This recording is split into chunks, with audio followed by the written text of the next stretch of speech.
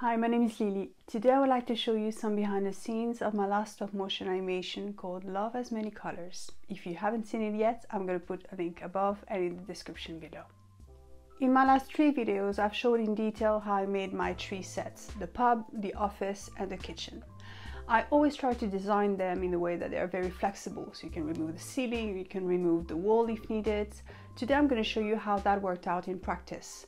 That might come handy if you're in the process of designing new on set to be aware of what's gonna make your life easier doing animation or what is gonna restrict you. This animation was more complicated to animate than what I've done before because of the amount of puppet that needs to be moved simultaneously and also the dialogue. So I'm going to show you what I've done with the Dragonframe software and how I've used it in a way that is helpful for the dialogue scenes.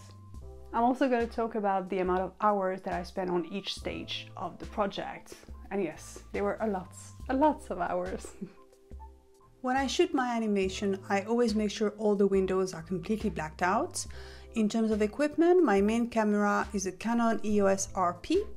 I've got a laptop with Dragonframe installed on it, a set of three LED panel lights, GVM 800D, an LED ring light, and a clip-on LED lamp above the set.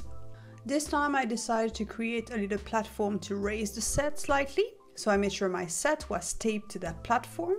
The platform was taped to the table to make sure everything is absolutely stable and nothing is moving. I always make sure I keep all my tools nearby so I can get them very quickly when I need them. The table itself was taped to the floor and every single tripod and the camera was firmly taped to the floor as well, so no movement whatsoever. Now when it comes to this platform, I'm aware that some of you watching this video are too young to care about silly things such as your back. But personally, I'm 40 years old, and when I spend so many hours bent over going back and forth between the set and the laptop, it breaks my back. By the end of the day, I can feel it, and the next day is worse. So I decided I'm gonna try to create a little platform to raise slightly the set. It's nothing fancy, I'm talking about studs and plywood, it raised the set from 12 centimeter, but honestly, it makes a huge difference. Overall, I, I really felt it. And moving forward, I'm always going to use that for my animations.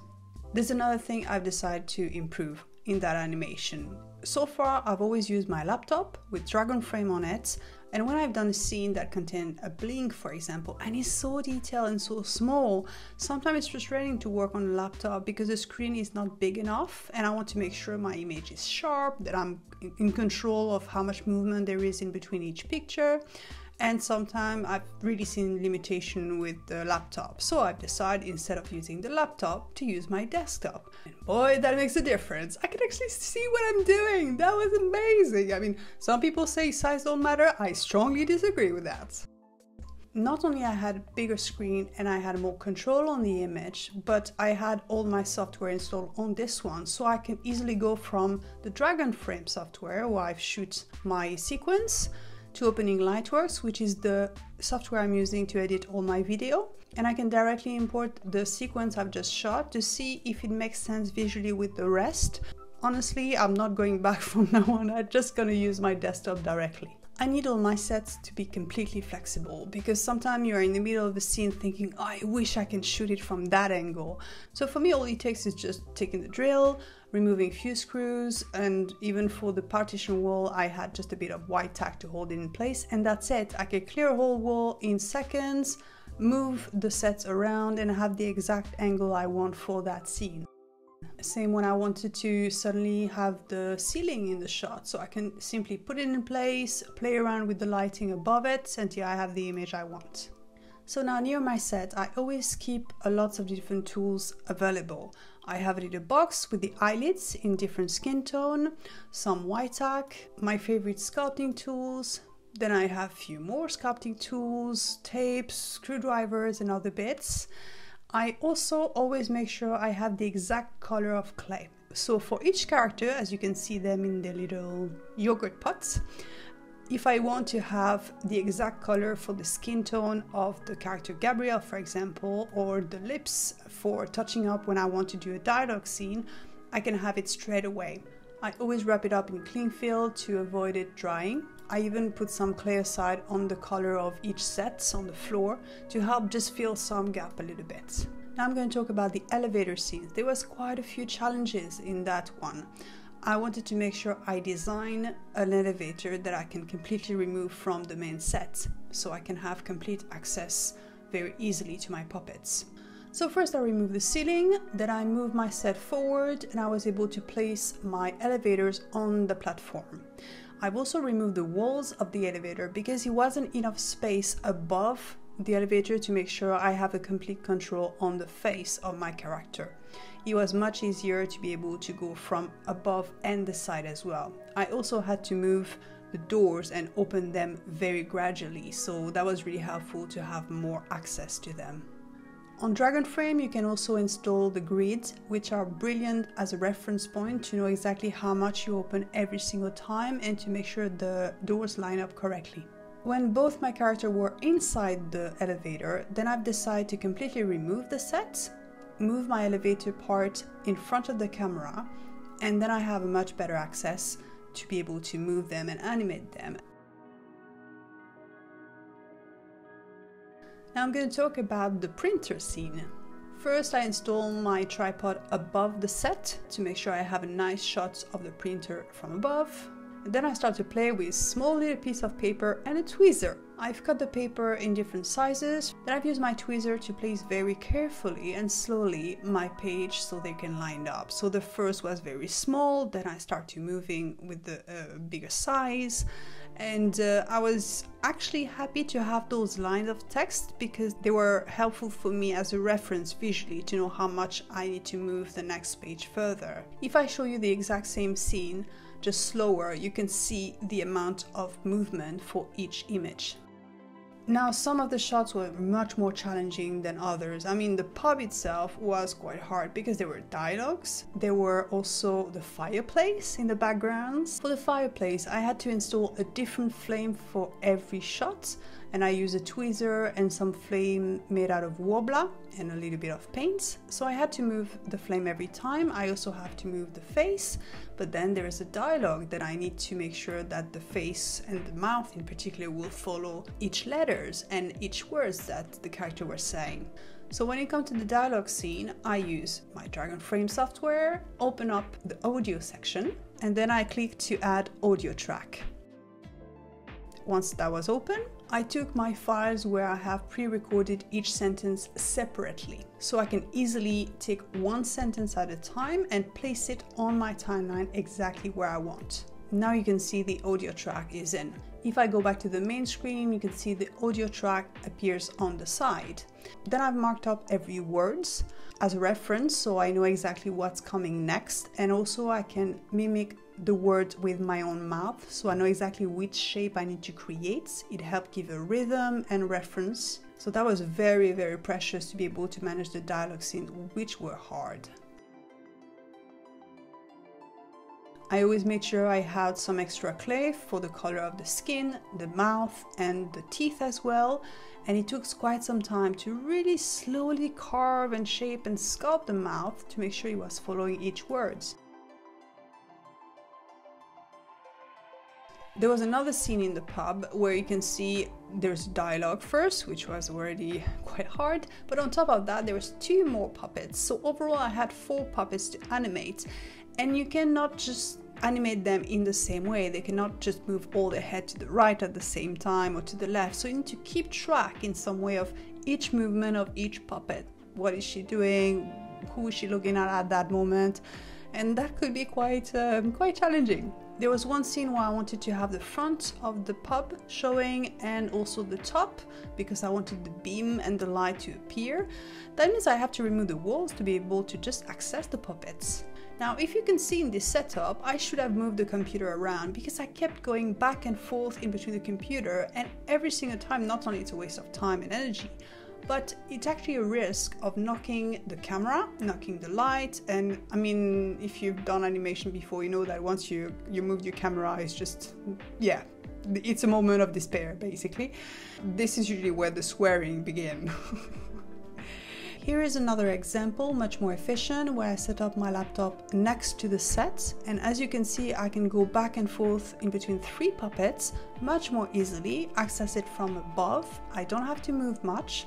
So I'm saving time, I'm saving energy, and I'm not taking any risk to knock the camera on the way. I spent 100 hours in my workshop shooting this animation, but I was lucky to have a fantastic assistant to make sure that I was staying on track and as you can see she's literally sitting on my shots list. Now, I'm not a professional in stop motion animation and I don't even have a proper training in that field. Actually, eight months ago, I didn't know much about it, but since then, I've been experimenting all the time in my workshop. And since I've been building stuff with my hands for all my life, I guess it's speed up the process a bit. I just wanted to make some videos that can help other people in their own creative journey. Because even if you haven't done any stop motion animation before, that's absolutely fine. Just to give you an idea, this was the stop motion animation I've done as my first one eight months ago. I know, very impressive. So if you start from scratch, that's absolutely fine. It's like everything. It gets better with practice, so just give it a shot. When it comes to the number of hours I spent on the project, it added up to roughly 500 hours. Yeah, I know. So first I spent a good week developing the idea. Try to see how I'm to tell that story, how I'm to design my sets, build every little thing from scratch, in this early stage, I was lucky to have some fantastic feedback from a very talented storyteller, Adrian Hay, and his feedback was very precious to help improve my story.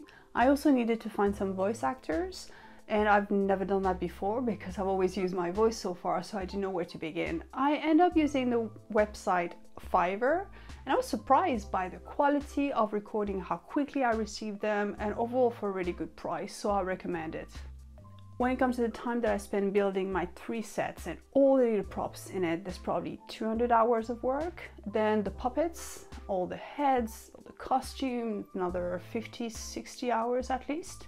Then for the animation, I spend roughly 100 hours in my workshop in the dark, moving tiny little puppets one millimeter at a time, seriously questioning my sanity along the way. Honestly, I was just going crazy in that dark room.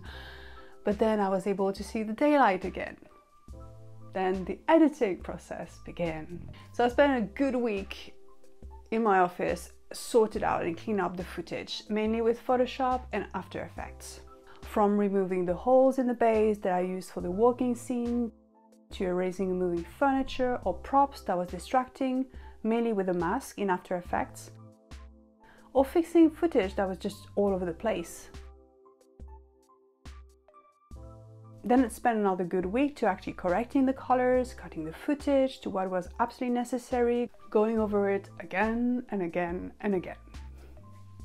I was lucky to have two incredibly talented ladies, Holly and Misha, who help out and design a fantastic music and sounds for that piece, and it makes it just so much better. So, thank you, ladies, for that. So, for me, that work added up to roughly 500 hours and I don't even count the 8 to 10 days that I spend editing all the tutorials that come after the animation, such as the tutorials you're watching right now. So yeah, overall it's a long and a long process and a huge amount of time. Will I do it again? Probably, because I'm already working on the next one. For me, those little animations are an opportunity to tell stories that I think are missing about subjects that matter. There's a clear lack of diversity, and I wanted to make sure I create stories that are relatable and inclusive. Things are improving over the years, but we're not where we should be, my point of view. I mean, everyone deserves a seat at the table, and to do that, we need to start by more representation. Personally, I've never seen an animation where the central character was black and gay or bisexual, and it's a shame that it doesn't exist, so I just decided to make it happen. Same with my last animation about being child-free. I think too often people who choose a child-free lifestyle are harshly judged and criticized, especially women, for basically doing whatever they want with their life. And I just thought we need to change that narrative. And I took the opportunities to create this animation to change the narrative in a more positive one. The next stop motion animation, which I've already started working on, it's about fitting in. And how much we affect our own mental health, try to fit in other people's box, or change who we are to fit other people's expectation of who we should be. So I hope it raised awareness and encourage people to just be themselves and embrace truly who they are. So keep an eye on my channel. In a few months' time, if I haven't lost my sanity wondering why on earth did I put myself through another one of those crazy projects, hopefully you will see this animation. Until then, take good care of yourself.